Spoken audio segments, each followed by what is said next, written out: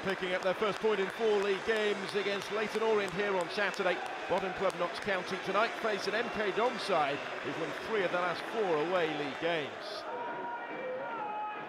Here comes the corner. And, uh, nobody really attacking it off the crossbar. And then away by Gleeson.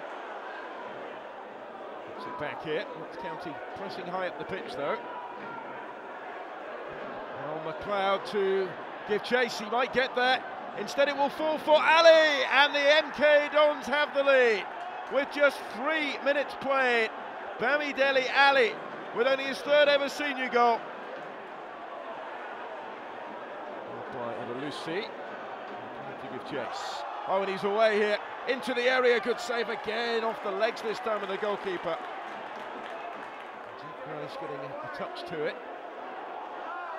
But this time it's Daniel Powell who's in on goal. Surely support from Alli to walk it almost into the back of the net and double the Dons lead. 10 minutes into the second half. Second goal of the game for Bamidele Alli.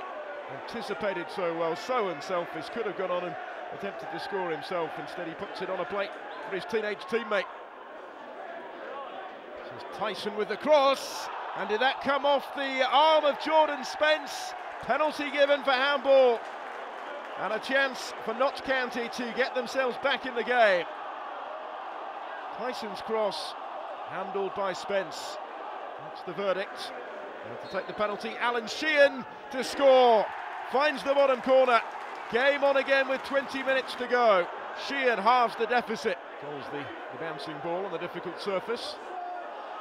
And then he's played the pass into space for Alli as well, who's looking for the hat trick. Oh, and he's got it to wrap up the victory for Milton Keynes Dons in stoppage time. Bamidele Alli, who'd only ever scored two senior goals before tonight, has three here